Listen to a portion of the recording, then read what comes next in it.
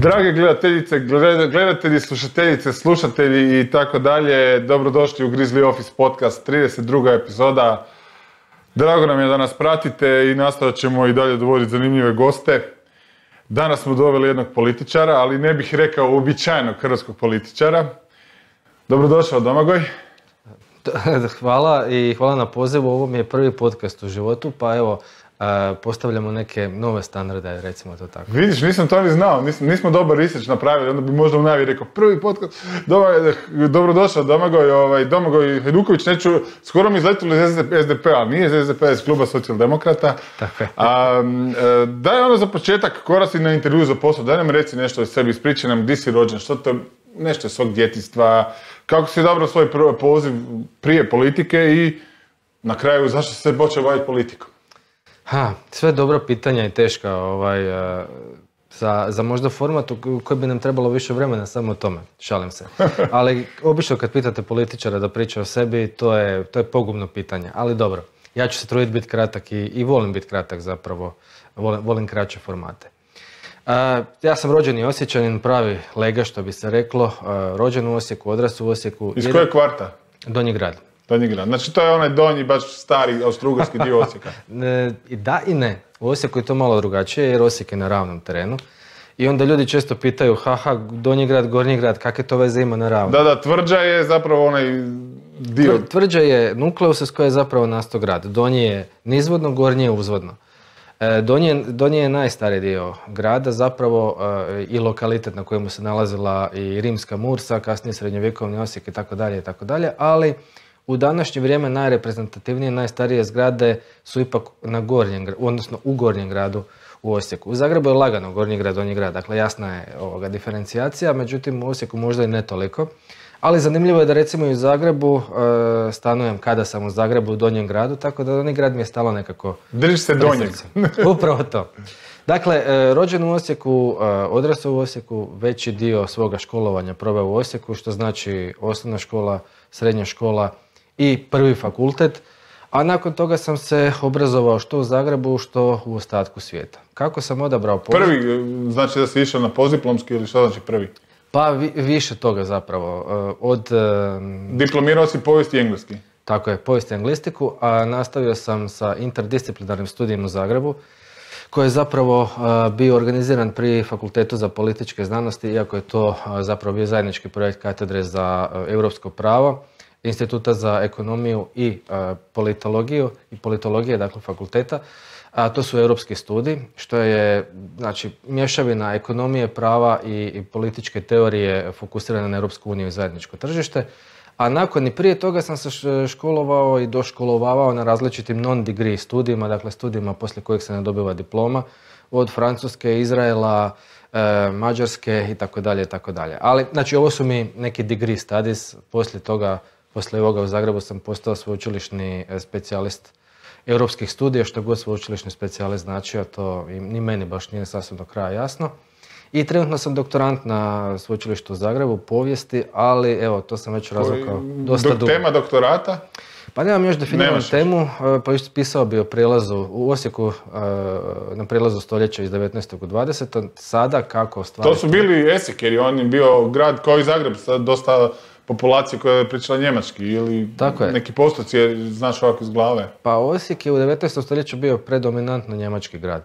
Te kasnije industrializacijom zapravo e, se počinje došteljavati e, stanovništvo iz ruralnih dijelova Slavonije, Hrvati, Šokci i tako dalje. Dakle, oni e, polako preuzimaju većinu kako industrializacija kreće. A kako stoje sada istraživanja i interesi, najvjerojatnije bih pisao o Osječkoj bolnici, odnosno o ratnoj bolnici za vrijeme Prvog svjetskog rata. Aha, aha tad bi ima, da, ok, kužim. A, daj mi reci, imaš li neku anegdotu iz Osijeka, što te obilježilo kao mladića, kao dječaka, kao mladu osobu? Šta ti je prva asocijacija na djetinstvo, na Osijek? Na... Pa ima ih puno, ali evo vratit ću se na ono što sam me prvo pitao, a to je kako sam izabrao svoju profesiju. Mislim da politika nije profesija, to je poziv. Baš kao i biti učitelj, profesor, kao biti političar, kao biti liječnik, to su pozivi više nego profesije i kažu da se političar najčešće rađa. Odnosno da je netko homo politikus po svom, po svojoj, ne po vokaciji, nego po, po svom e, prirodi svog karaktera. I vjerovatno sam i ja e, se tu negdje uklopio. Jer evo, kad me pitaš o djetinstvu, bio sam predsjednik razreda u osnovnoj to školi, sam u srednjoj školi. na fakultetu do duše sam se počeo baviti e, zapravo politikom, odnosno nešto prije sam se učlanio u političku stranku i tako dalje. I tu moj kreće zapravo moj U SDP-u si od početaka, nisi tako je, u SDP-u sam bio od svoje 19. E, godine, dakle 2000. sam se učlanio, evo do... To je na onom valu, znači, nekih e, želja za promjenom, za demokratizacijom Hrvatske, treći sjećanski izbori, pretpostavljam da tad si bio, znači, prva godina faksa ili maturant. Upravo to zapravo, ja bi se učlanio, to jest uključio u politiku puno ranije da, da sam mogao, nisam imao godine, nažalost, ili na sreću, ovisi kako se uzme. No da, htio sam biti dio, uh, dio promjena, dio nekog novog vala, ajde recimo to tako u Hrvatskoj, drugačije politike i tako dalje. A i dolazim iz političke obitelji, dakle, stasao sam uz brata koji je puno stariji od mene i koji je bio u liberalima, prvo u HSLS-u, poslije toga u LS-u. E, sad se ne bavi politikom. HSLS je tad bio izuzetno jak u Osijeku, Kramarić je bio gradonačelnik. Tako je, sve negdje do 2000, to jest točno do 2005. kada neki novi politički vjetrovi pušu u Osijeku, dakle u, u naponu snage HDZ-a, HDZ nikad nije mogao e, pobijediti u Osijeku, evo, ali sada je. Do sada je. Sada je. Naime, podcast gleda mahom mlađa publika, pa neke stvari moramo rewindat ono da im objasnimo kontekst i tako dalje. Da pače ovoga, ja sam povjesničar, tako da volim pričati o prošlosti, ali samo da dovršim, dakle, brat je e, liberal, e, mama je oduvijek bila politička dijelom njoj dugujem i to što se zovem Domagoj, što je vrlo, recimo to tako, hrvatsko autentično ime. Bilo je nekih drugih ideja za imena koja bi bilo možda još autentičnija, ali o tom, o tom potom. I zahvalan sam možda što je ovo malo više mainstream ime prevladalo. E, ona je od početka također bila politički aktivna u Hrvatskoj e, kršćanskoj demokratskoj stranci koja se u međuvremenu ugasila pa se nije Su više... braća Veselica ili Cesar? Ne, ne sjećam se više da budem iskren jer sam i tada i ja bio mali.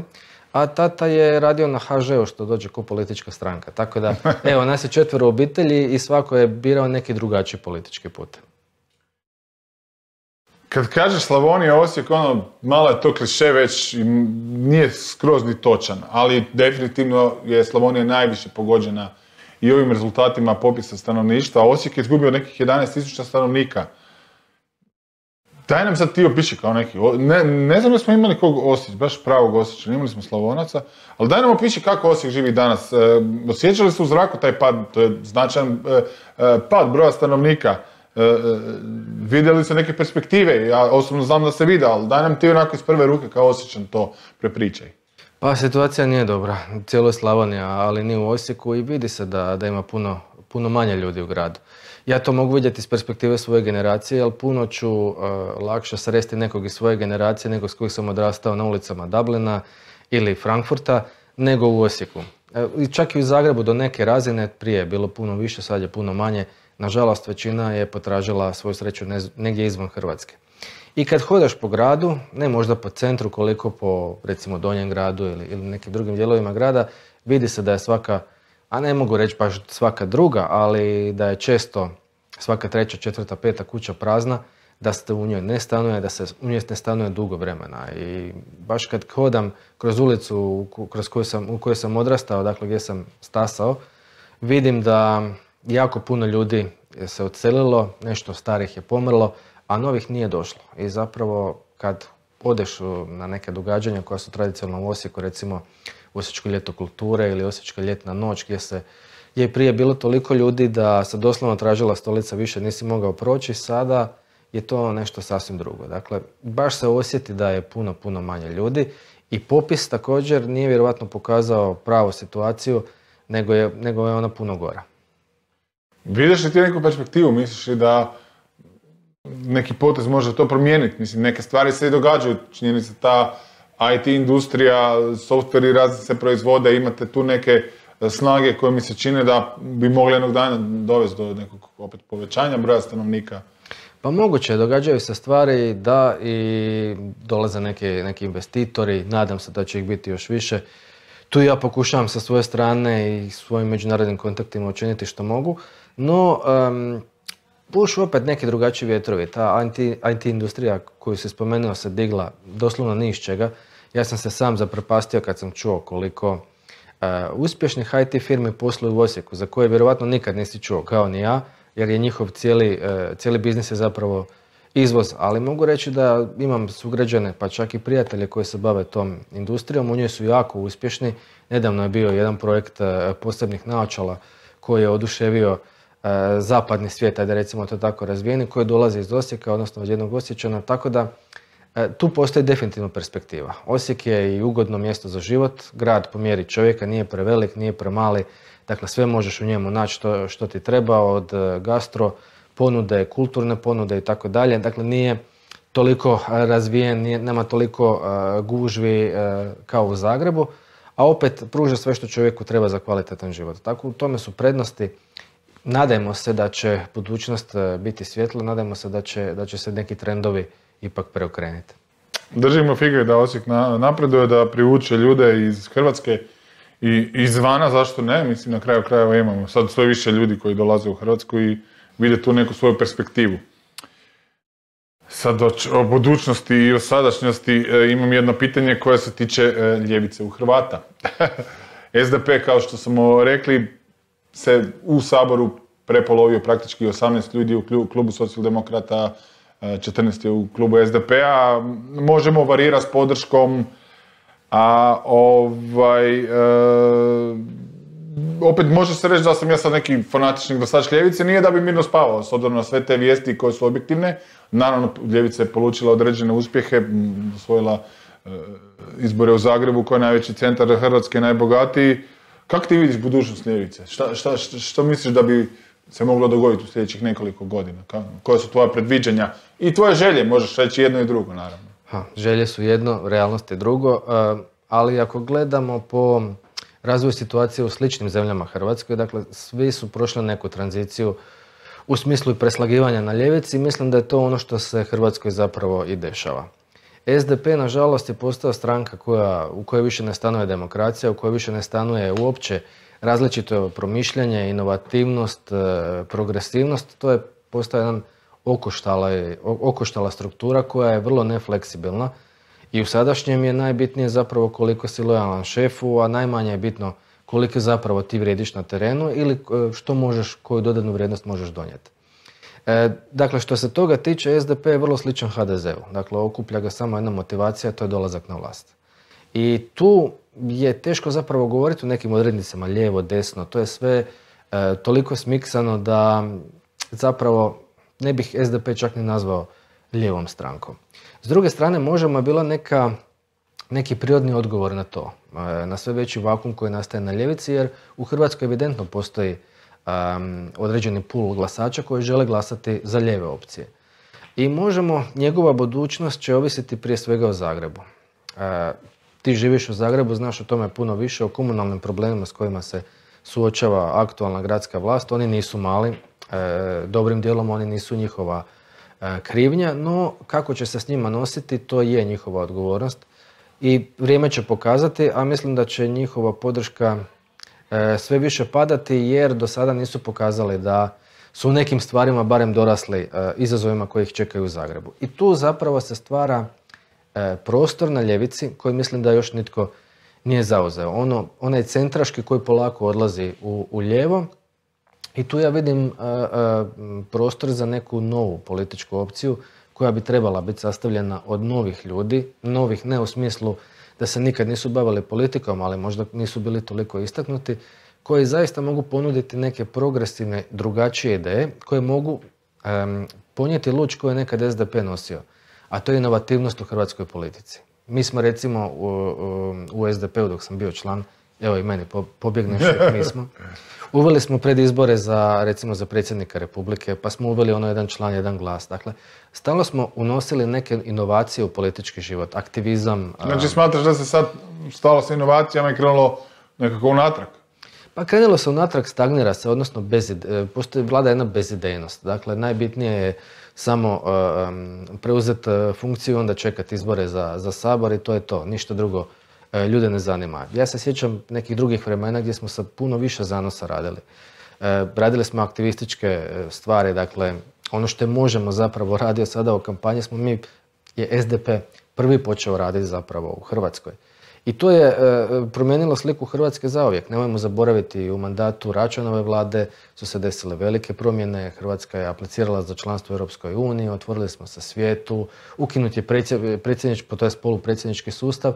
Dakle, bojim se da je te ideje tog poleta, zanosa, žara Je li tu bio neki komunikacijski fail, jer dio ljudi nije, nije to možda i dobro iskomunicirano. Mislim, ovako sad, ja pratim politiku i znam nešto o njoj, meni je to jasno, ali jesu li toga, je li toga svjestan prosječni glasač? Jer HDZ ima uvijek tu auru, ono su stvorili državu i to je dosta jasno za objasniti činjenica da HDZ bio na vlasti za vrijeme Domovinskog rata. ovo su neke možda finese koje su možda propuštene, propušteno iskomunicirati to na pravi način. Pa dobro, komuniciramo mi to, iako kad si član neke organizacije, pa uključujući i stranku, barem sa moje strane, pokušavaš je čuvati maksimalno. Čak i kada si kritičan, ne želiš baš svo uh, prljavo rublje prati u javnosti. Ali to sam ja, kažem, nisu svi taki. E, možda nije iskomunicirano dovoljno, ali mislim da dovoljno govori činjenica recimo u Osijeku, dakle ja dolazim da je e, većina članova zapravo napustila SDP. Nisu izbačeni, svi nego su... Kako stoji po gradu, malim većim Zagreb, Rijeka, Split, Osijek? Pa u Rijeci je zapravo jedino gdje je SDP stvarno na vlasti još uvijek i uh, je od, ono, od početka vremena, što ja kažem, odnosno od početka države. Neki bi rekli zločisti od 45. U Splitu su prošle jako loše, u Zagrebu je ovo bio potop po meni, dakle spasilo ih je to što sudjeluju u gradskoj vlasti, a u Osijeku isto vrlo, vrlo loše. Dakle, nakon osam godina vlasti, nakon neviđene prilike za konačno prvi put u povijesti preuzimanje grada od strane SDP-ovog gradonačelnika, ono što bi se reklo kolokvijalno epic fail. Tako da, mm, puno ljudi je napustilo stranku, mahom mladih ljudi, e, onih koji još imaju što dati, koji e, su u usponu ili su se već uspjeli, dakle imaju neki renome, neki utjecaj u, u svojoj e, lokalnoj zajednici, tako da ne predviđam im svjetlu budućnost, nažalost, ako nešto radikalno ne promjene tipa odmah. Je li, mislim, sad govorim generalno o ljevici, je li moguća teoretski nekakva koalicija ljevice jednog dana, SDP, klub socijaldemokrata, vjerojatno će se pretpostavljeno ići u stvaranje neke stranke ili liste, možemo sve te, pa eventualno i nekakve, nekog centra liberalnog na čelu s Puljkom i tako dalje, možeš li, mislim, vjerojatno bi teoretski pristao na, potpisao bi odmah da vi preuzmete vlast, s obzirom na te podjele koje su evidentne i dosta velike, kakve su perspektive s te strane? Pa prije svega moramo, ako, ako mislimo promijeniti vlast u Hrvatskoj, a mislimo, onda moramo razmišljati malo šire. Jer povijest nas opet uči da bez široke koalicije, ljevica ili lijevi centar, kako god želiš reći, nikad nije uspio doći na vlast. I to će biti sigurno i sada. Međutim, opet postavlja se pitanje s kim i kako sačiniti tu koaliciju. Mislim, Peđa Grbin i SDP, nažalost, meni ne, uvjeravaju, ne uljevaju puno povjerenja da, da su uopće sposobni nositi e, tako nešto. Jer evo, nisu sposobni nositi ni stranku. Ono kad ti e, više od pola kluba zastupnika izađe iz stranke, što si, nešto se ti izbacio, nešto su izašli sami, mislim da je to ono, veliko zbuno na uzbunu. Nešto ne radiš dobro, to se nikad nije u povijesti desilo. Da, brojke su neumoljive, vaš klub je veći nego SDP-u. E, I mi imamo ideje poleta, želimo raditi, želimo e, nešto drugačije napraviti. Ako gledaš sabor, e, možda nisi toliki mazohist da gledaš baš sjednice. Pa nije da gledam svaki dan, ali bacim oko. Ovaj, vidjet ćeš da, da zapravo imamo puno inicijativa, puno rasprava, ono naravno radimo što oporba može učiniti. I zapravo postoje i sada u Saboru partneri koji bi bili vrlo, vrlo prihvatljivi. Dakle, govorimo i o liberalnom centru, govorimo i o, o a SDP-u bih ja za sada pristupao vrlo oprezno, jer SDP se i dalje postavlja hoh, što oni više nisu i moraju prihvatiti e, isto, isto neke činjenice. Možda jesu po anketama još uvijek druga stranka, ali to je jako mršavo, jako loše. Dakle, vrte se oko 10%. To nije stranka koja može zaista imati ambiciju preuzeti vlast. I sam si malo prešao tu sferu politike općenito, ne samo ljevice. E, je li moguće skinuti Plenkovića HDZ s vlasti? Naime, čovjek je zauzeo centar, to je neosporno i proširio se. Proširio pipke u centru, koalira sa Pupovcem, znači ne možemo danas više niko reći, ovo vi ste ekstremno desničari i tako dalje. Naravno, to je iskoristila i desnica, pokušavši sa desna, ono, ajmo reći, kolokvijalno napast HDZ i uzeti mu dio glasača. Pritom je Most e, definitivno skrenuo potpuno u desno, sad ne potpuno, ali reći ćemo desno slash populistički s ovim mjerama protiv korone i tako dalje, definitivno Most se maknuo iz centra i iz Mosta su izašli, dio, dio ljudi je prešao u domovinski pokret, ali dio ljudi koji je više guro Most u centar se više ne bavi politikom poput, poput Ine Strenja Linić, pardon, Ine Strenje. Ovaj, sad, kako, definitivno tim s tim činjenicama je smanjena mogućnost nekih koalicijskih mogućnosti ljevice i primjerice Mosta. Kako je uopće to moguće? Da li je uopće moguće skinuti HDZ s vlasti? Primjerice da neko raspiše izbore sad prije ljeta. Ah, ja mislim da je moguće. Jer definitivno ne, ne može se reći da su građani po anketama zadovoljni. Sad koliko su one kredibilne ne znam, ali čini se HDZ relativno dobro stoji, ali isto tako je činjenica da ljudi nisu zadovoljni sa situacijom u zemlji. Postoje, postoje veliki protesti koji su vezani uz koronu duše, ali nezadovoljstvo buja. Pa da, i da mislim da se HDZ ne može skinuti sa vlasti, ne bi se bavio politikom. Onda bi ono što se kažu okačio kopačke u klin. Može, naravno da može i e, dao si jednu dobru analizu, zapravo ono, kreš analizu. Međutim, e, nešto se izostavio iz jednadžbe, a to je da HDZ sve više i dublje zapravo ulazi u različite korupcijske e, afere. I iako je pokazala da se... Nije li to konstantna HDZ, ja mislim? Istina je, ali čak su sad u zadnje vrijeme su puno i za HDZ, što puno govori. Iako u pravilu to ankete ne pokazuju, odnosno glasači ne kažnjavaju, ja mislim da su i tekako promjene moguće. Da, Plenković je odvukao HDZ u centar, da, to je na desnici stvorilo prostor za različite stranke, uključujući i Most, jer Most po meni baš i nikad nije bio centar u onom pravom smislu riječi, sad definitivno nije. ali na ljevici e, postoji, postoji prostor. E, zašto ljudi daju povjerenje, barem anketama Plenkoviću? Ja mislim zato što jednostavno nije stasala jedna zdrava opcija i osoba, jer ljudi uvijek vole poistovjećivati pardon, ljude i, i neku opciju, odnosno ne, poistovjećivati je sa nekom promjenom, idejom i tako dalje. Jednostavno nije stasala na lijevom spektru koja bi, neću reći mogla parirati e, Plenkoviću, ali bi mogla biti alternativa Plenkoviću. To za sada ne vidimo. To nije Peđa Grbin definitivno. To nije ni Sandra Benčić u neku ruku, barem ne još. A e, tko će biti vremena još ima do izbora, tako da, da vidjet ćemo. No, ono što treba imati na umu je da su ankete zapravo jedna varljiva stvar. Nemojmo zaboraviti, ankete su i SDP-u davale egal utrku sa HDZ-om prije prošlih izbora, pa se to ipak nije desilo. Preći ćemo na tvoju specijalnost političku, a to je vanjska politika. Predsjednik si Saborskog odbora za europske poslove, Tako ja sam dobar. Izabran si i za potpredsjednika odbora za migracije, izbjeglice i raseljene osobe Parlamentarne skupštine Vijeća Europe, čestitam. Hvala. I ovaj, e, koje je započelo upravo sa zimskim zasjedanjem.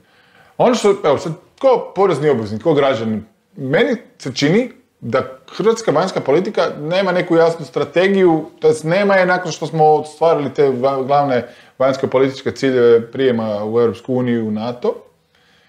I to je dobar, dobar primjer toga je ovo sad nesnalaženje oko uh, Ukrajine. Predsjednik govori jedno, premijer govori drugo. Na stranu sad ti kao političar jasno se time baviš, ali ja kao neko ko plaća porez ovoj državi ne vidim tu nikakvu strategiju, vidim da je to neko polukaotično stanje. Misliš li da fali ta dugoročna strategija, misliš li bili se ti time bavio, imaš li ti neke svoje ideje kako bi to trebalo izgledati? Pa odgovor na pitanje je da, možda po svim. E, prije Nadam se. prije svega zato što e, nama strateškog planiranja nedostaje u svim aspektima. Općenito. Znači državnim, apsolutno svim. Od gospodarstva, demografije, ono, you name it, we don't have it. I vanjska politika zapravo tu nije iznimka. Mi smo ispunili dva glavna vanjsko politička cilja, to su NATO i EU. Nakon toga i ja imam osjećaj da glavinjamo. Vakum, ono, šta ćemo sad, ne znam, go with the flow. Ej, sad ćemo euro, sad ćemo Schengen. Dobro, Schengen razumijem, Schengen je super stvar i svako ko putuje zna što Schengen znači, zapravo nema više granica, doslovno od onda e, Osijeka do, do Lisabona granice nema. Međutim, euro, ja tu već imam neke skepse. Uvodimo li mi euro da bi ga uveli ili uvodimo sa nekim... Jesi li na istoj liniji sa hrvatskim suverenistima? Pa ne, ne bih, ne bih baš išao tako daleko, ne, ali e, s druge strane mogu neke stvari razumjeti. Dakle, Postoji ono što se zove monetarna politika i ono što se zove fiskalna politika. Monetarnu politiku imaš dok imaš svoju valutu. Ali mi poluge monetarne politike zapravo nikad nismo koristili. Ono što smo mi radili, grozničevo smo čuvali tečaj kune. Ali je li to bio pravi, e, pravi put, odnosno jesmo time pogodovali uvozu, izvozu, to su sad već druge priče. Od, premalo vremena nemamo i možda Um, nije, mislim, možeš ispričati, zato je podcast da se priča. ali dobro, možda, okay. možda je malo pretehnički. Da. Ja bih recimo devalvirao kunu, ali ja sam, e, nisam ekonomist, niti sam e, monetarni stručnjak, ja bih devalvirao u jednom trenutku da bi potakli izvoz, recimo. uh Mi te poluge nikad nismo koristili, tako da i kad se odreknemo valute, nismo baš ništa ni izgubili, da, da budemo iskreni. To je s jedne strane. Opet s druge strane, bojim se poskupljenja. E, sjetimo se samo evo njemačkog primjera kad su uveli euro, e, ono što je bilo 50 feninga je postalo 50 centi. Dakle, to je bilo poskupljenje 100%. Znači ti naravno kao neko koji je ljevičar socijalno osjetljiv vidiš da je to opasno za građane koji bi mogli naglo osiromašiti praktički preko noći. Mm, pa dobro, ne bih išao možda tako ekstremno, tako daleko, ali sam za, ako ulazimo već u tu priču, moramo imati jedan duži period prilagodbe i duži tranzicijski period. To je recimo imala Slovačka. Oni su dvije godine učili ljude preračunavati iz eura u krune i obrnuto, tada su imali krune, to je krone. Uh, ohrabrivali su ih da prijavljuju one koji su cijene dizali uh, bezrazložno. Dakle, objavljivali su cijene, standardne cijene u neku srednju cijenu, jel? od kojih ne bi trebalo biti previše odstupanja i u kronama, onda kasnije u eurima. Dakle, to je jedan bio dugi, dugi proces i zapravo Slovačka u tom smislu poskupljenja nije doživjela prelazak na euro kao nešto jako traumatično. Ali, kažem, radili su to sustavno, planski, dugoročno. A mi sve što radimo ne radimo sustavno, planski, dugoročno, nego nekako više ad hoc, ono, e, sad se mi sjedemo, pa čuj šta je mogli, ajmo uvesti euro. više imam takav dojam. Dakle, treba nam apsolutno više strateškog planiranja. E, u novoj situaciji, kad je Hrvatska članica Europske unije, neki prioriteti se mijenjaju. E, neki partneri se mijenjaju u ostalom. E, naši gospodarski interesi su drugačiji. E, po meni treba puno više naglaska staviti na srednju i istočnu Europu, na regiju, na Rusku federaciju, Ukrajinu. To su tržišta koja su nama puno e, prirodnija, možda od recimo Njemačkog, gdje naš proizvod ne može konkurirati nekim već e, brendovima koji su se ustalili. Tim više što mi volimo zaboraviti naše brendove. Ja uvijek volim isticati jednu priču iz Poljske. Naime, ako voliš grickalice koja što se vidi, volim čips, vidio si sigurno... Ne kao ja. vidio si, čuo si, jeo si uh, Lace chips. mm To je poljski brand, ako nisi znao. Nisam. E, i Lorenz, jedan kao veliki uh, snack proizvođač na svijetu, je kupio uh, Lace i lagano je počeo ukidati taj brand i, i ovoga tiskat svoje. Mislim da je Crunch Chips njihov, ako se ne varam. O chipsu znam puno. Eh ovaj, e, počeli su njega gurat, međutim Poljaci su i poljsko tržište jako loše reagiralo na to i tražili su svoj čips. Bili se to desilo u Hrvatskoj da se u jednom trenutku ugasi brand Chippy Chipsa ili ne znam, nečeg slično? Mislim da ne bi. Zapravo vrlo teško poučen iskustvima. Dakle, Dobro, ti sad propagiraš nacionalizam na neki Ne, ne, ne, ne. Govorim o tome da trebamo čuvati naše brendove, one koje su uspješne. Recimo, kad putuješ... Mislim, Poljaci su primjer nacionalno svještenog, nabrijenog naroda, naravno i puno veća su nacija od Hrvata. Da, ali imaju i taj neki, recimo, ponos i svijest, što nama fali. Ja sam ljevičar, da se mi razumijemo, i, ali volim reći da sam patriot. To ne znači da ja ne volim Hrvatsku ili ne, nemam hrvatske interese na, na pameti zato što sam ljevičar. No, ono što hoću reći, kad ideš po srednjoj istočnoj Europi, svi te pitaju za neke naše brendove koji su odavno umrli. Evo, samo iz Osijeka kreni, Saponija još živi, ali pitajte recimo za Analit, to oni su proizvodili sve od plastike kojih već jako, jako dugo nema. Pitaju te za Olt koji su proizvodili, to je bila metalurška industrija, koje već isto dugo nema. Ono što smo mogli sačuvati nismo, nažalost, a sad je ono malo što imamo, moramo gledati i nastoja zaštititi. Recimo, dobar primjer e, su piva, to je recimo moja druga strast, volim pit pivo. Voliš kraft ili? Um, više ove ne. Ja, ja sam više onak za industriju, čisti lager, što je, što je čudo među, među pivoljupcima. Ali e, imate u Osijeku Osječko, to je dobro pivo. Je, ali što ti hoću reći, i to je jedino pivo u, u domaćem vlasništvu. Sva ostala hrvatska piva su u vlasništvu stranih pivovara, ali su te strane pivovare ipak zadržale brendove. Dakle, imaš i dalje i Karlovačko, imaš i Ožujsko, imaš i Pan. E sad oni u tim pivovarama proizvode i svoje, recimo ne znam, e, mislim da je Karlovačko sa Heinekenom ili, ili tako Da, nešto. da, I pa ih e, guraju e, paralelno, ali brendove su zadržali, brendovi imaju tržište e, i domaće, a i ono strano. Kad dođe turist, hoće piti hrvatsko pivo. neće I stranci pit ih hvale na kraju krajeva kad dođu, vole popiti. a osječko pivo je da, slažem se, sjajno pivo, kažem još jedino koje je ostalo u domaćem vlasništvu i nadam se da se taj, da taj brand najstarijeg piva u Hrvatskoj od 1697. neće, e, neće umrijeti. Ali o tome ti pričam, dakle ono što imamo sada trebamo znati čuvat. Bojim se da to ne znamo.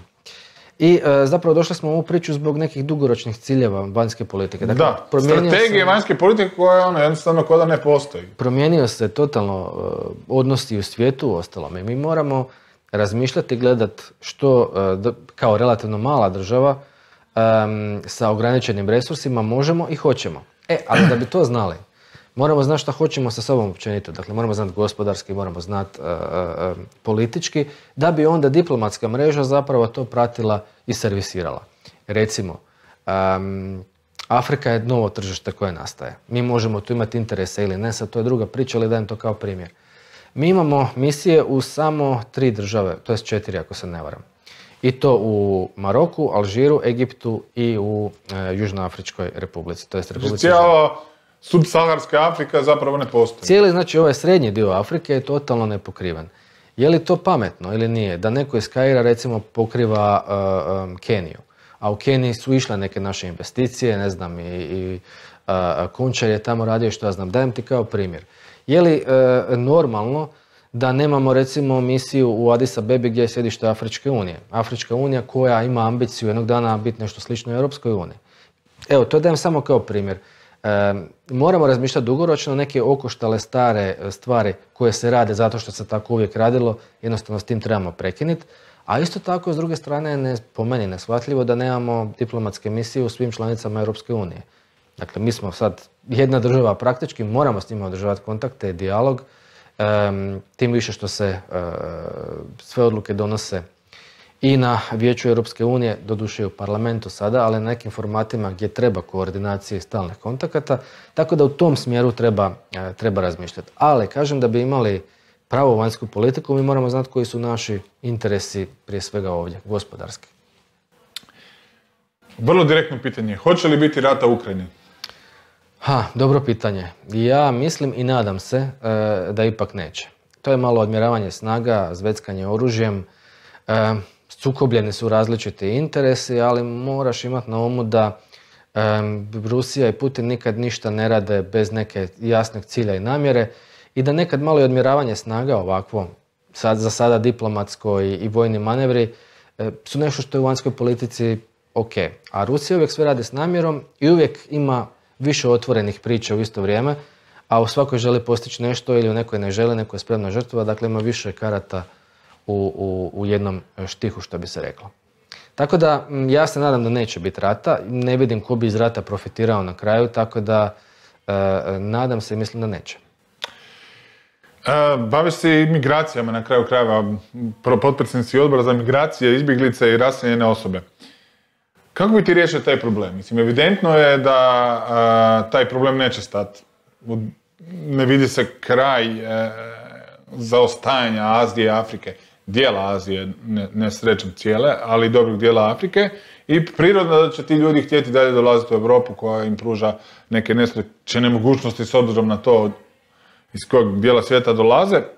Kako, mislim, neću reći zaustaviti, pretpostavljam da je to nemoguće zaustaviti, ali opet, kako s jedne strane biti human, što vjerojatno tome težiš, ljevičar si, ne želiš sad nekakve ono, bodljikave žice, niti ono, mitraljeze i strojnice na granicama, ali objektivno svaka granica, svaka država ima pravo štititi vanjske granice i kontrolirati imigraciju, primjerice Švicarska, vrlo, koja je zemlja imigracije i sad je otvorila svoje granice za Hrvate, možeš doći, ali trebaš imati određene vještine, znanja, ono, trebaš ispunjavati neke norme da bi došao. Kako to riješiti dugoročno? Opet, ajmo sad strateški dugoročno, sljedećih 20 godina. Pa migracija neće stati. Treba gledati koji su uzroci migracije i onda po- pokušati riješiti uzroke.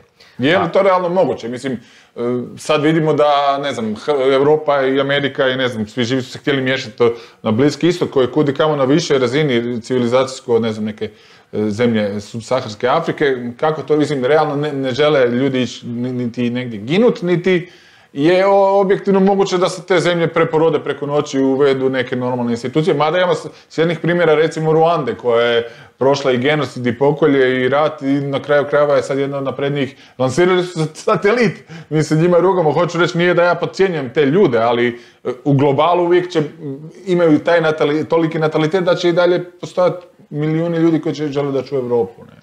Ba, ali ajmo, ajmo redom, puno si postavio problema. Dakle, pr- prije svega em, bitni su uzroci, a nisu svi uzroci ekonomski. Dakle, iako su oni dominantni, ali nisu jedini. Dakle, ljudi normalno traže bolji život, što je jasno. Drugi, koji će biti sve više i kojih sad već ima, su klimatski. Mijenja se klima E, to radikalno. je još jedan problem koji nisam spomenuo. Da. A, Ljudi zbog toga odlaze. Evo primjer je baš jedna država u Africi, to je Čad, gdje to je zemlja koja je uglavnom pustinska, ima jedno jezero koje se isto zove Čad, po čemu je dobilo ime, em, koje se polagano isušuje. Dakle, to stvara jako veliki problem. Nema prilaz moru i još u jezeru i... Landlocked je ono što bi englezi rekli, dakle nema, e, ne- nema izlaz na more, e, kon- znači kontinentalna je zemlja, em, jedini izvor vode je jezero Čad i e, tu se sprema humanitarna i ekološka katastrofa. I treći razlog su naravno ratovi, nestabilnosti, ljudi bježe od rata, što je isto sasvim e, razumljivo. Kako tome doskočiti? Pa prije svega Europska unija to pokušava recimo kroz partnerstvo sa Afrikom, kroz e, pokušaj razvoja i edukacije e, afričke populacije, kroz ulaganja u go- gospodarstvo Afrike i tako dalje i tako dalje. Klimatske, nažalost, ćemo teško zaustaviti, ali morat ćemo se nositi sa posljedicama. Mm, Recimo, Čad je bivša kolonija Francuske republike, Francuska je odlučila dati tisuću e, ljudi azil u, u Francuskoj zbog e, klimatskih promjena. E, Evo recimo to je dobar način proaktivnog djelovanja gdje je Francuska i birala zapravo ljude koje će na kraju prihvatiti u Francuskoj. I ono treće s čime se mi moramo pomiriti je da će Europa ovisiti o migrantima. Jer naš je Nijedna fertilitet- država se nije obogatila bez imigranata. To je isto kontraargument e, ljudima koji paničaraju, oj, nećemo mi sad tu neke ljude koji su Ne, druge vjere to. ili rase. Da pače, mislim, ti, Amerika je tipičan primjer. Mislim. Naravno, Amerika je ono što se kaže e, melting pot svijeta, zato jesu uspješni u ostalom. Rusija, iako mi to doživljavamo kao jednu e, monolitnu državu, ona to nije, ona je federacija od čitavog niza naroda, e, za, mogu bi reći stotina, čak i tisuća naroda, e, ljudi nacionalnosti, vjera, što žive na istom, na istom području. Tako da i mi kao Europa moramo razmišljati o tome. Imamo sve niži fertilitet, e, znači sve nas je manje, općenito Europljana.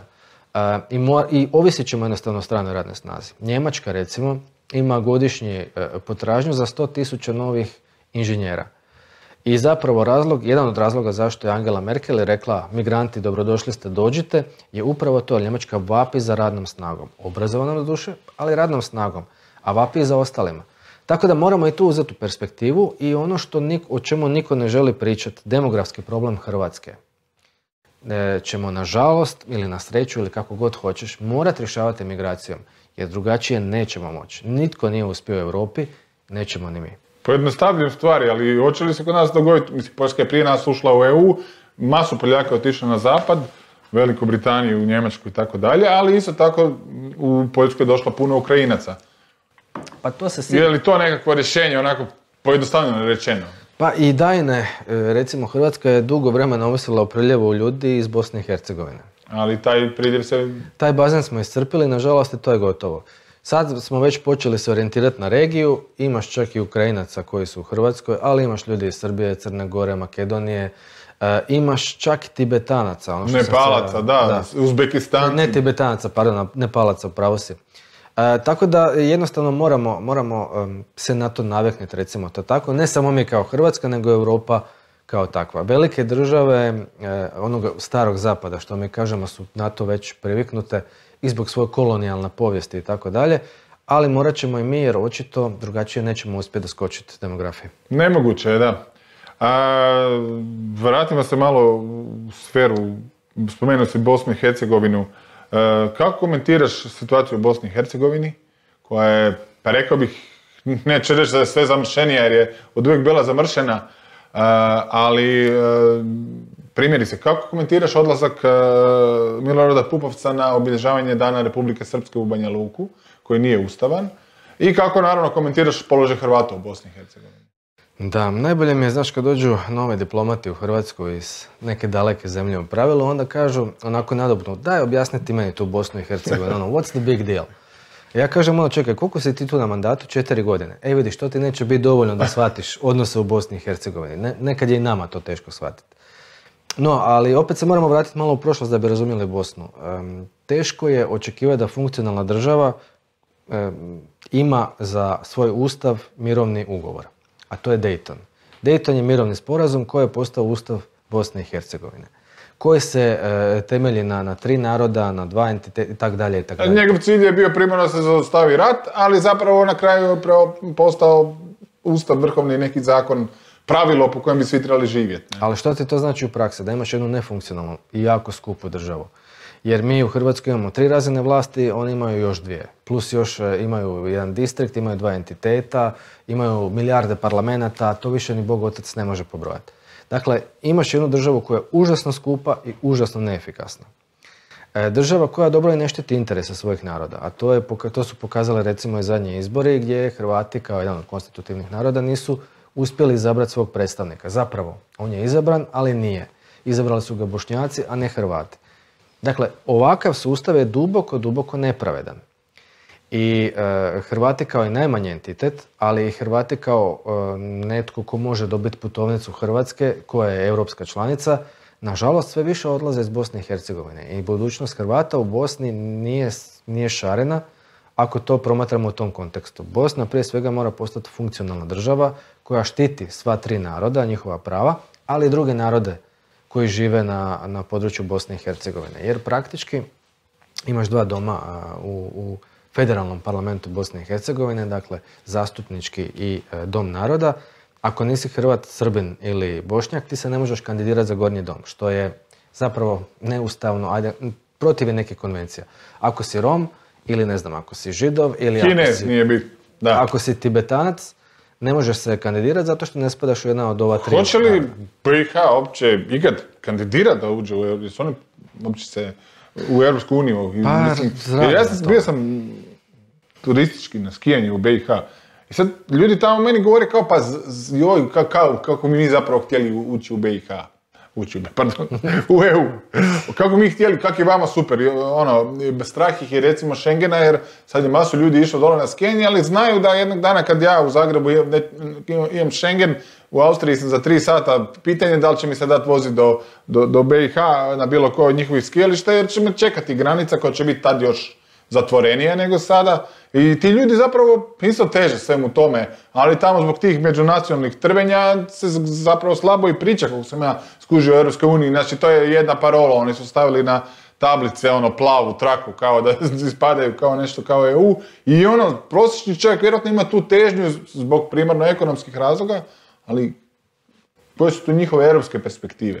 Ovako, Objektivno, mislim. BiH i Hrvatska inače imaju neku granicu i da, slažem se, to će komplicirati život, posebno ljudima u, u BiH više nego, nego nama.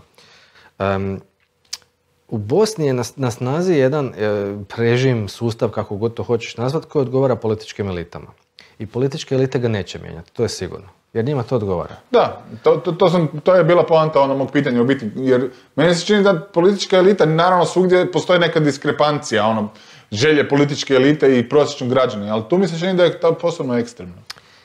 Da, e, i kažem, neće se mijenjati, svi se pozivaju na Dayton, na status quo i tako dalje. Međutim, činjenica je da ovakav sustav odgovara isključivo političkim elitama. I bojim se bez pritiska izvana, znači nekog vanjskog pritiska, koliko god to nepopularno zvučalo, ali bez pritiska Europske unije, SAD-a, Rusije, dakle koji su možda neki glavni akteri Turske isto u tom smislu, neće biti nekih većih pomaka. BiH formalno je na putu ka EU, kao što si rekao, i ja često i komuniciram sa članovima svih parlamenta u Bosni i Hercegovini, dakle i federacije, i e, e, na, ovoga parlamenta Bosne i Hercegovine i Republike Srpske i Brčko i sada ti ne nabrajam sve njihove parlamente. Uglavnom, jedino zapravo kod Hrvata je prisutna ta iskrena želja za ulazak u Europskom uniju. Kod ostalih je to sve onako nekako sa figom u džepu. Je, mi smo za to, ali znate. I Europska komisija je postavila neke uvjete pred Bosnu i Hercegovinu da e, dobije status kandidata. Međutim, e, ispunili su većinu onih koji nisu vezane za zakone, o promjenu zakona, recimo o javnoj nabavi, borbi protiv korupcije i tako dalje. E, tu padaju. I tu je zapravo evidentno... Znači, korupcija je problem. Ne samo korupcija, ali kažem ti zakonsko usklađivanje, među kojima je javna nabava, transparentna recimo i borba protiv korupcije i nezavisnosti tijela koje nadziru e, i tako dalje, tako dalje. Uglavnom, to ti je jasni pokaz da e, oni koji zapravo koče ulazak u, u EU su političari. Jer e, oni se moraju odricati nekog svog e, prostora komoditeta i to ne žele. I na narodu je zapravo da shvati da, da svojim pritiskom, svojim zahtijevanjem može i treba utjecati na političare da taj stav e, promijene. Druga je sad priča što unutar Bosne imamo jedan separatistički pokret, to je Republika Srpska, to je Milorad Dodik. Koliko je on u tome zaista... Da, je li on iskren ili je to zapravo njemu samo jedan e, način da se održi na vlasti, poticanje i tih nacionalnih priča? E, Jer on nije krenuo, on je krenuo kao tvoj kolega, socijaldemokrat, mislim... Pa još je da, nominalno. se ta stranka tako i zove, ali ne možeš se reći da je to neka socijaldemokratska politika, uglavnom je nacionalna. Uopće nije. I zapravo, a, Milorad Dodik je jedna posebna politička manifestacija, recimo to tako, koji e, govori jedno, radi drugo, a misli treće. Iako je teško njega uhvatiti za glavu i za rep, ne bi netko tako, toliko dugo opstao na političkoj sceni da nije takav, pretpostavljam. No, ono što je bitno, je da je katastrofa bi bilo da, da se Republika Srpska uopće pokuša odcijepiti, jer to M bi rezultiralo vjerojatno velikom nestabilnosti u samoj Bosni i Hercegovini, pa u regiji, ali opet bi bila jedna pandorina kutija u svijetu, koja je dijelom i otvorena sa Kosovom, ali o tom potom, dakle sa nekim uzusima međunarodnog javnog prava. No, ono što je, e, što je bitno je Dodik očito živi na tome što je e, faktor destabilizacije stanja u Bosni i Hercegovini, što opet Bosnu čini još nefunkcionalnijom državom i što se na kraju uvijek prebija preko građana. Dakle, onih koji bi trebali imati korist od svojih političara imaju najmanje. A što se tiče tog prvog pitanja, dakle, Pupovca i, i Dana, e, ko, je pohodio u Banja Luci, ja mislim da mu je to bila velika greška. E, I kao čovjeka, ja mislim, koji drži do sebe, kao političara i, i osobe koje ima određenu reputaciju, a onda i zbog toga što je jedan od istaknutih članova vladajuće koalicije. Ne može ni Plenković baš potpuno oprati sebe od tog posjeta, jer ako e, Pupovac je bio kao predsjednik Srpskog narodnog vijeća, on je i predsjednik SDSS-a, odnosno on je istaknuti... Potpredsjednik vlade, ne? E, je? Po, ne, Milošević je Milošević je potpredsjednik vlade, ali opet indirektno, na neki način, da. E, stoga na njegovom mjestu barem ja bih puno bio pametniji, valjda ako su htjeli toliko ići u Srpskom narodnom vijeću ima i drugih ljudi, ne samo njega. Idemo na jednu temu koja se nameće sama po sebi, a to je fotografija koja je izašla, koliko je prošlo od tada? Hm, pa dosta. E, na fotografiji se sa svojim dečkom. Moram ti čestitati, evo, čisto ko čovjek čovjeku svaka čast na hrabrosti. Nisu ono 80. 90. ali definitivno dio ljudi još nije spreman možda u Hrvatskoj pa daj mi reci ono opet jednostavno pitanje, kako je biti gej u Hrvatskoj? Ha, da, fotografija je bila, jedna je bila prije šest mjeseci, malo više, jedna prije, prije mjesec. Ha, kako je biti gej u Hrvatskoj? Pa bolje nego što je bilo prije. prije 20 godina recimo ovako nešto bilo bi nezamislivo. Sada je zamislivo i mislim da javnost zapravo i treba senzibilizirati da, da gejevi, da lezbike nisu nešto abstraktno, daleko i, i nečovječno. Znaš, nema toga kod nas, to, to je nešto strašno. Nego da su to njihovi susjedi, prijatelji, rođaci. Da je to jedna pojava koja je običajna očito na zapadu više nego uobičajena, kod nas manje, mislim ne govorim sad o postocima, nego činjenica da postoje ljudi koji su geji. I zašto bi netko imao nešto protiv toga, mislim. I to nije ni neprirodno, to nije ni ništa uh, uh, protiv prirodne, ne znam što hoćemo reći, to je nešto normalno, ti ljudi nikom uh, ne škode i zato ne vidim zapravo u čemu bi trebao biti problem. Ok, Hrvatska je evoluirala dosta, puno stvari se promijenilo, u zadnjih 20 godina, ali sad još puno toga treba, treba i mijenjati. I kad čestitaš meni na hrabrosti, hvala ti na tome, treba biti hrabar kao moj dečko Matija koji je e, isto u I njemu, tome, da, naravno. isto u tome e, sa mnom i zapravo nije nam ni bila namjera provocirati takav veliki medijski interes. On je jedan dan rekao, čuj, ja bi stavio ono našu fotku, ali imaš ti šta protiv? "Pa Zašto? Stavi. I em, pocijenili smo zapravo obojica koliko, je, koliko su, će mediji biti zainteresirani za to. Ali nema veze, drago mi je. Nismo nikom navodili, radili smo nešto lijepo što je sasvim normalno, prirodno i ljudski. I ako smo nekom pomogli da se možda lakše odluči e, izaći iz ormara ili da se e, osjeća bolje u svojoj koži, onda je to vrijedno i svih uvreda i loših komentara koje smo dobili. Pa da, vjerojatno je bilo uvreda, ali ja ne mogu reći da je neka općenito reakcija bila, ho- hoću reći, vjerojatno bi prije 10, 20, 30 ili 40 godina, to je bilo i kažnjivo, u SFRJ je to bilo kazneno djelo do nekog razdoblja, ali hoću reći, mislim, čisto, čak i ako si desno i konzervativno, po meni, e, zašto bi bilo sporno da neko jednostavno kaže što je? Zašto bi neko živio u laži i glumio nešto što nije da bi, ne znam, njegova okolina ga prihvatila. Mislim, ono što se kaže uličnim rječnikom, vi ste tu ispali muški, pokazali ste muški u smislu hrabrosti, pokazali ste hrabrost što, zašto bi neko mogao to osuditi, ne? A to što ste vi gej, to je jednostavno vaša neka biološka datost i šta- se tu ima sad nasilno mijenjati? Pa ja isto ne vidim što. Em, ali dobro, kažem, puno stvari se u Hrvatskoj promijenilo i moram reći da ja ne osuđujem nikog. Dakle, izlazak iz ormara je jedan osobni, prije svega osobni, a onda i bolni e, e, čin za većinu ljudi. Da, naravno, lako tako. je meni sad tu govoriti, a moraš to, naravno da dio ljudi jednostavno I ja, pazi, ja nikog ne osuđujem. Dakle, Da. svako, svako bira svoj put i ja bih, vjerojatno da sam birao, malo drugačije izabrao kako sam ja izašao iz ormara. Ali ono što je svakako činjenica je da puno ljudi u javnom životu, uključujući i politiku i to visoku politiku, jesu gej. Samo to ne žele reći. To je njihov izbor, naravno, ali i, Mislim, sve pet, da, naravno. i samo kažem, i, gra- i građani moraju znati javnost. Dakle, gejevi nisu nešto abstraktno, oni su među vama, ono kao onaj, posjećamo na onaj film They Live Among You. Em, I oni su vaš susjed, e, ne znam, vaš e, gradonačelnik, vaš zamjenik župana, sad ja bubam na pamet da se niko ne osjeti prozvano, vaš zastupnik, vaš liječnik i tako dalje i tako dalje. Dakle, naći ćete ih svugdje.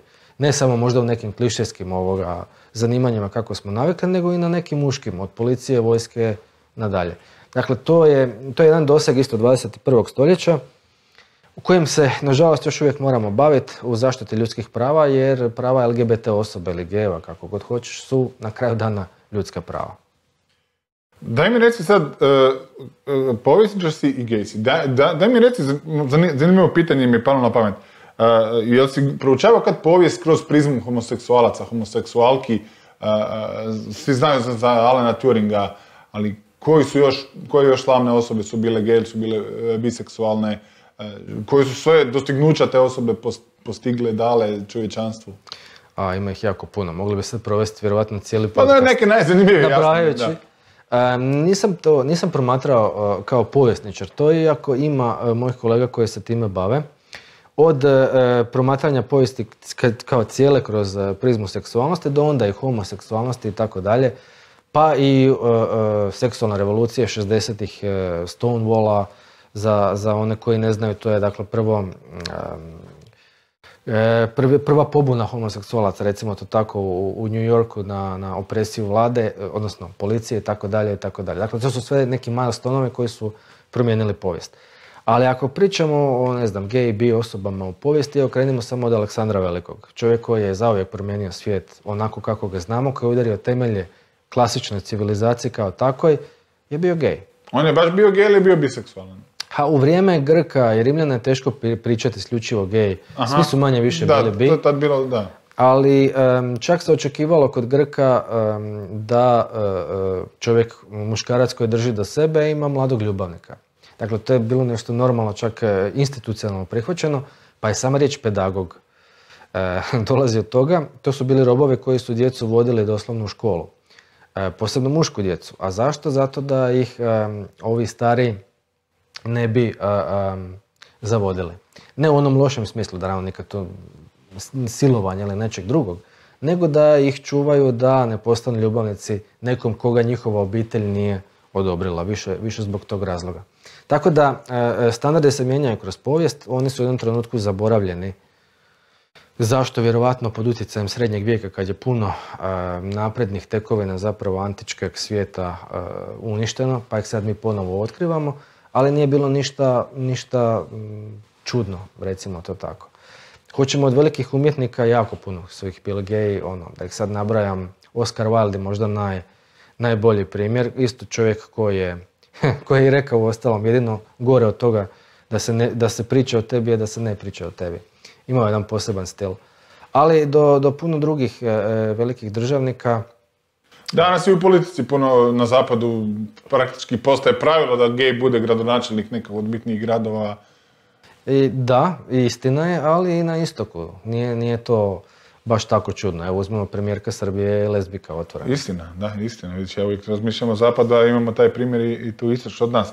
Da, mislim, e, definitivno su se stvari promijenile i sad kako će to dalje ići, da li će to ići u neki ekstrem, s druge strane da će, mislim, postoji isto tako neke tendencije da praktički ono se u nekim sredinama, recimo Americi, heteroseksualce gotovo, neću reći da se diskriminira, ali isto tako ono, toliko je to postalo popularno, hoću reći, to je neka amplituda, ono, od, od apsolutnog neprihvaćanja do preprih, mislim, ne može se preprihvatiti bilo koga, svaka osoba treba imati puno poštovanja, ali hoću reći, e, mijenja se društvo. Sad, mislim da, da mi je neko rekao prije 30 godina će premijerka Srbije biti lezbika, rekao da odi, ono, odi se liječi u vraće. Ono.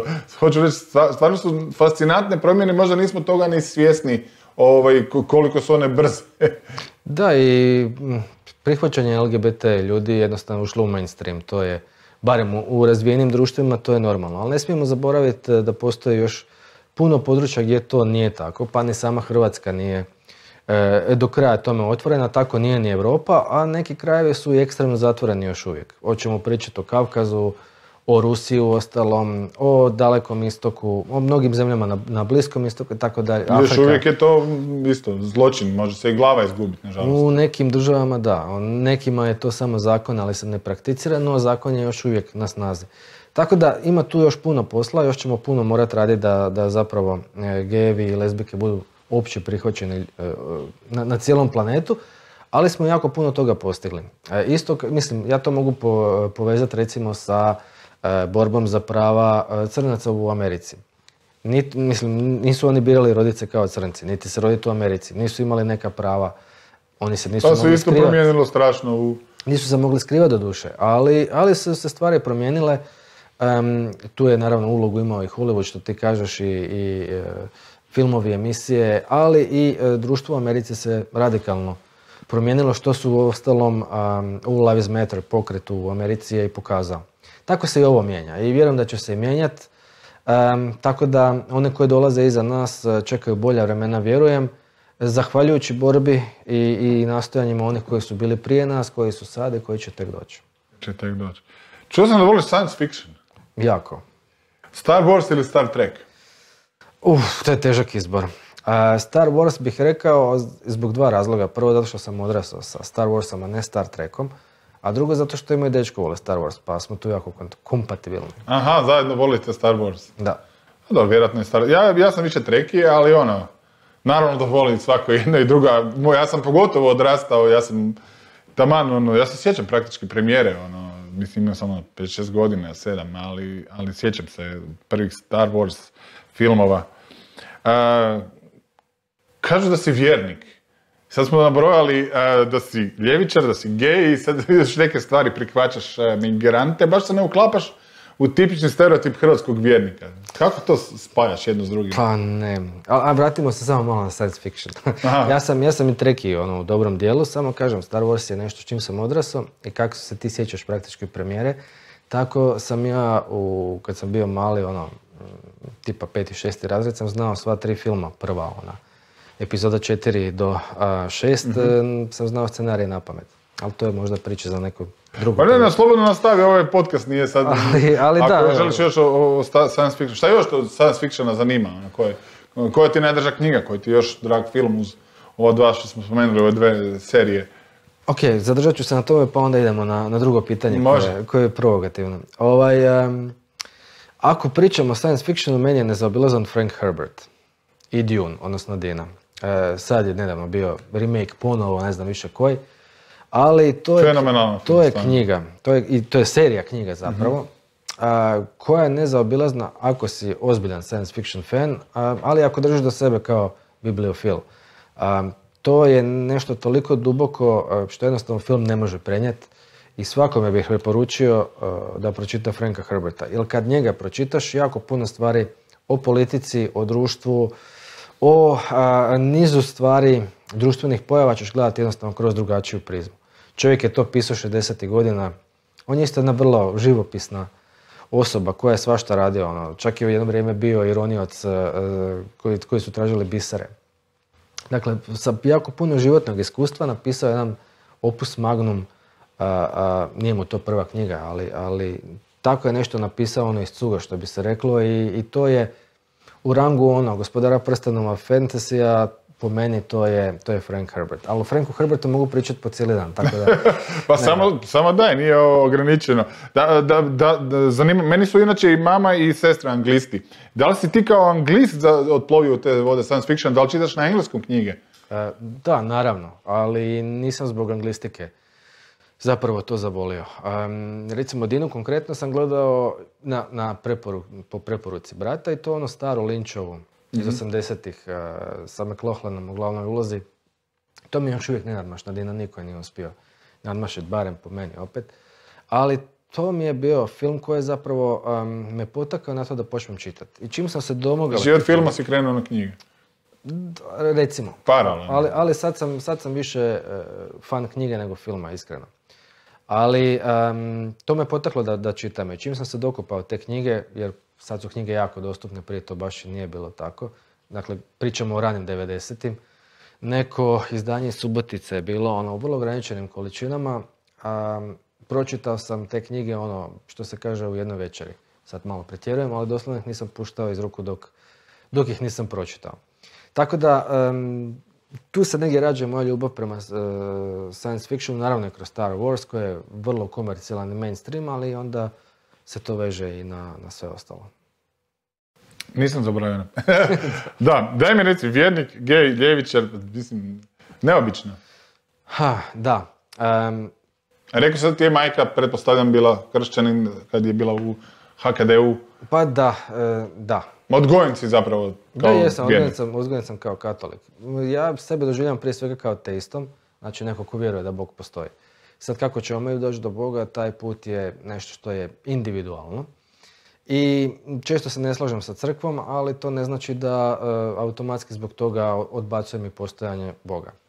I da, nisam, e, nisam možda e, tipičan, ali ljudi zaboravljaju.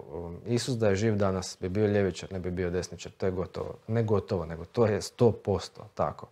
Jer ko- koga Isusa su došle glave upravo, recimo to tako, politički establishment onoga vremena. Jer je propovjedao stvari, ono, svi smo jednaki, Bog nas sve voli. Onda je establishment rekao, ne, ne voli nas sve isto. Vas voli manje, nas voli više. Tako, njegove ideje su za ono vrijeme su bile vrlo radikalne.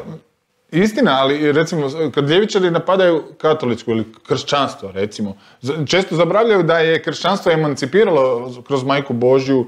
Gledao sam zadnji moj podcast, je bio svećenik, pa sam kao stručan, šalim se. Ovaj, ni- ja sam agnostik osobno, nisam vjernik, ali hoću reći, neke stvari objektivno stoje, a to je da ipak žena je emancipiranija u toj zapadnoj judeo-kršćanskoj civilizaciji nego u nekim drugim civilizacijama. Pa dobro, ako ćemo pričati o crkvi općenito opet sad kroz eh, povijest, Naravno, užasno široka tema, Crkva je e, odgovorna za neke strašne stvari tipa inkvizicije, ali je odgovorna i za neke opet strašno napredne stvari, jer su redovnici bili ti koji su, recimo, pravili prvo pivo, što je jako dobra stvar, ali šalim se, uvodili isto neke inovacije, bili središte znanosti, učenja i tako dalje i tako dalje. Dakle, taj i uloga je ne može biti crna, ne može biti bijela, nego je neka siva kao i sva ostala. No treba razlučiti šta je crkva, a šta je Bog ili vjera.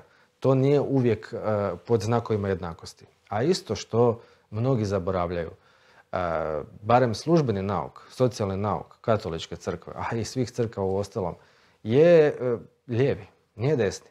Dakle, pomozi onome koji ima manje, e, budi solidaran, odriči se da bi neko drugi mogao imati. Rerum novarum pape lava sa kraja 19. stoljeća to jasno pokazuje, a to ljudi zaboravljaju. I zapravo kršćanstvo je postalo tradicionalna religija koju neko prakticira iz navike više nego iz uvjerenja, usudio bi se tako reći, pa onda i zaboravljaju glavne postulate te vjere. Ali, ne, ne možemo samo o kršćanstvu pričati u tom segmentu, to sve vjere e, se slično ponašaju. Kažu da je navodno Satan, odnosno Lucifer, rekao da na svijetu postoji taman toliko religija da se svi međusobno mrze. A što zapravo je e, e, antipod vjere, jer vjera bi trebala biti ljubav, a ne, ne mržnja. U ostalom, ljudi jako zaboravljaju ono što ih uči njihova vjera. Nijedna ne uči mržnji, svaka uči ljubavi. A i Marija Jurić Zagorka je rekla da su ljudi prije spremni umrijeti za svoju vjeru nego živjeti po njoj. Super za kraj. Ja nemam više pitanja, imaš ti neku poruku za buduće možda birače, tu sad možda gledaju neki klinci od 16 godina, možda neki od 25 pa nisu još izašli na izbore ipak si političar, imaš neku poruku ili se samo želiš odjaviti? Pa dobro, ovako, ja u prošlom životu sam e, bio profesor, učitelj, kako god hoćeš. jako sam volio rad sa mladim ljudima i to me baš onako ispunjavalo jer tu vidiš rezultat. Nedostaje ti to vjerojatno? Pa s jedne strane da, a s druge strane svoju ulogu kao političara vidim jednom dijelu i kao prosvjetiteljsku. I prije covid znači u onom starom, normalnom, E, smo u Saboru često imali e, posjete škola, fakulteta i tako dalje. Uvijek sam mladim ljudima rekao, aktivirajte se društveno. Ne mora to biti politika. Može to biti, ne znam, plesanje u kudu, može biti aeromodelarstvo, može biti volontiranje u Crvenom križu. Ali takve stvari obogaćuju vas kao osobe i obogaćuju vaše društvo. Oni koji osjete poziv, ajde sad ću to reći kao svećenici, za politiku to je nešto drugo. Naravno, to apsolutno ohrabrujem jer treba o tome promišljati. Ako se politika, ako se ti ne baviš politikom, politika se bavi tobom. To je ona klišeska izreka. Ali točno. Ali točno. I ljudi moraju shvatiti da pod jedan, njihovo mišljenje je bitno političarima i e, oni su zapravo šefovi, ne političari. Dakle, oni su ti koji svake četiri godine svojim glasom e, jasno mogu promijeniti tokove. I drugo, Um, nije dovoljno samo kritizirati ponekad. Nekad je dovoljno, nekad je potrebno uključiti se. Ne opet nužno kroz političke stranke, može se to raditi kroz udruge, e, oblike zagovaranja, inicijative, imali smo ih sto u Hrvatskoj i vjerujem da to ljudi sve, sve više otkrivaju. A pogotovo mlade ljudi moraju biti svjesni svoje moći i svoje odgovornosti. Iako osjete poziv za politiku, da, mislim da se trebaju njemu odazvati, jer kažu onako isto, klišeska izreka je politikom se bave loši ljudi. Ali ja bih tu dodao možda, ali to je zato što su im dobri ljudi to dopustili. Dakle, svako se mora baviti politikom na neki svoj način. Sjajno, za kraj ja ću dodat, e, angažirajte se društveno i zato da jednog dana možda postanete poduzetnici, bit će vam lakše nekom nešto prodat, naći dobavljača, naći zaposlenika, što širi krug ljudi koji imate, to vam naravno kao i u politici, kao i u društvenom nekom angažmanu pomaže u poduzetništvu koje je na kraju krajeva vaša alternativa, e, najbolja ekonomska alternativa koju imate, naravno nije svako za poduzetnika, ali to je nešto što ja uvijek propagiram i pozivam ljude da se uključe u to. Naravno i u politiku, ako vas to zanima, zašto ne? Sve što je Domagoj rekao, potpisujem. Hvala, bilo je super. Nadam se da ćemo se jednom prilikom ponovo vidjeti. Nastat ćemo snimati dalje. Nemam jedan, ono, nije, nije baš puno političara ovdje prošlo i, i fakat sam zadovoljan sa svima, pa i sa tobom. Pa hvala, hvala prije svega na pozivu i evo i meni je ovo novo iskustvo. Prvi podcast u kojem sudjelujem i rado ću se odazvati novom pozivu. Hvala ljudi, uh, klik like, subscribe, share, whatever. Anglist sluša i ne vjerujem u izgovoru. hvala i doviđenja, bok.